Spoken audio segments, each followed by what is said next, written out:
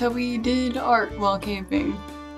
So we arrived at the campsite and discovered that our tent site was at the top of this massive grass hill. Mm-hmm. The hill was absolutely massive. yeah, it was so hard to walk up it. especially if you're carrying stuff. So we grabbed the tent and set it up and had our camp chairs. Things were going good. Then we went back down to the car to get everything out of it that we still had in it, like the food and the clothes and stuff. And we discovered that it wouldn't unlock. The key fob wasn't working. So Daddy swapped out the battery in the key fob. And then we discovered that it wasn't the key fob after all. It was, in fact, The entire car. Yes, the entire car. The battery had died for the entire car. So Ty drew us all concerned the first night that we were there. Fortunately, your grandpa is a mechanic, and fortunately, we were camping 20 minutes from his house. So he was able to bring us a new battery and fix it at the campsite, hang out at the campfire for a little bit. That was awesome. Woohoo! But we were camping at a lake, had lots of beautiful trees, Duckies! We went on a couple of hikes. The cottonwood trees were exploding, so there was cotton drifting everywhere. Yeah. Summer snow! Yeah, blizzard. Summer blizzard! There's a lot of trees. Trees! Bushes! Parts of the lake were pretty green. I wonder if that's always the case or if it was because it rained so much this year. It's pretty.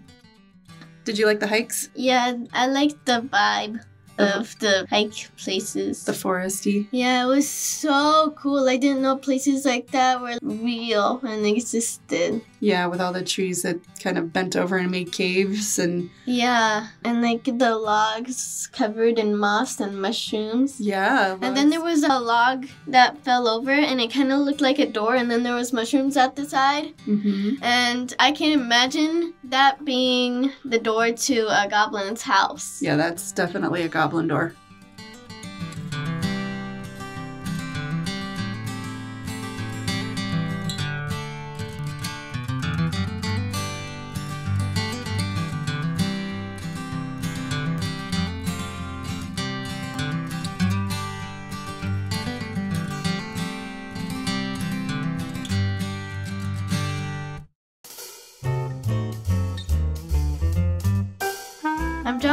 Charcoal straight out of the fire pit. I drew a little charcoal burning and then a little tree with vines hanging off of it, and then there's moss on it and leafy. What did you think of drawing with charcoal? It was so fun. 10 out of 10. Drawing with charcoal kind of feels wispy to me for some reason. So mm-hmm. we went on a hike and we were looking for different things to inspire art. And Daddy made this little guy out of sticks he found. And then we collected some other sticks and pine cones and a feather and some leaves. And we set up a little still life and we all drew it from all the way around. So we had all the different angles. So this is Tyler's. Simple, understated, clean lines. Mm-hmm. As always, I painted, I used watercolor, and Daddy used a colored pencil. I'm not good at drawing inanimate objects, so it's the best that I could do. I think it turned out really cute. And Daddy's turned out really good, don't you think? Wow, it's so good. I really like all of it.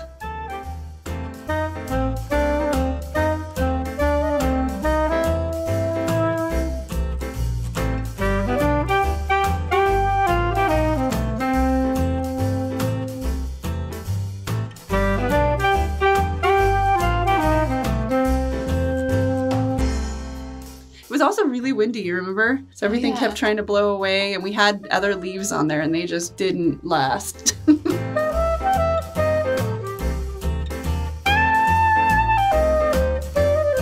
and then you guys each drew an homage to your obsession with the campfire. So I did this animation, but I didn't know how to make it look like just looking up. So Ty taught me how to make a little goober. This this guy. Yeah. And then I put it in the background with trees and put a campfire next to her. So it's cute and I like it. I like it too. She's adorable. Yeah, and vibrating. And your fire turned out awesome.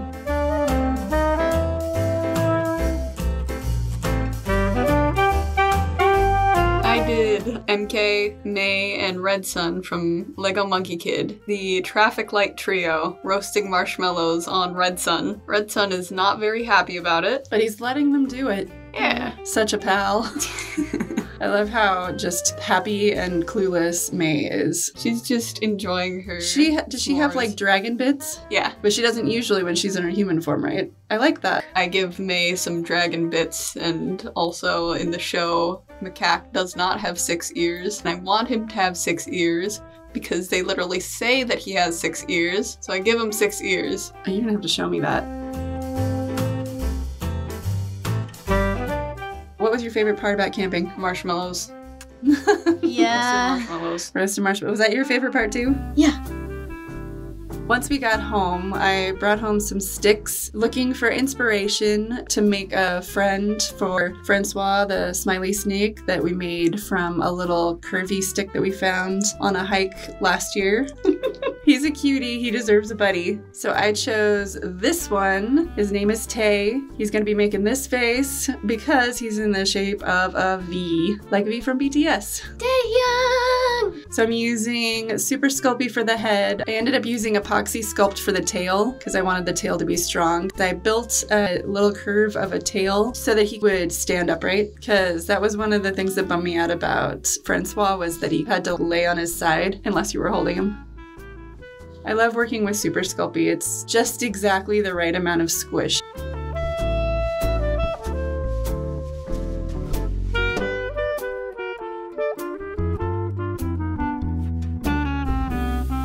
And I just baked it straight on the stick with the epoxy on there, and it was just fine. So then I got out the paints and I based him. I'm trying to blend the paint job into the stick. So I was mixing colors that kind of matched the stick so that it would look like I had carved him out of one piece when mm-hmm. clearly I did not. Yeah. Made it out of clay. I added a little bit of a black wash to get in the nooks and crannies and give the texture of the bark. And then I did some lighter brown dry brushing, added some blushy cheeks, darkened the inside of his mouth. And then Francois, in the drawn version of Francois, has the end grain of the wood on his head. And I really like it. So I gave Tay the end grain of the wood on his head too, the little swirl, and then gave him some shadows. And then he was a finished little buddy. And I went to go find Francois so that I could take pictures of them together and introduce them to each other. And Francois is not where I thought he was. So we're gonna have to find Francois and make the introductions some other time, but I think he's really cute. I like it. He's cute.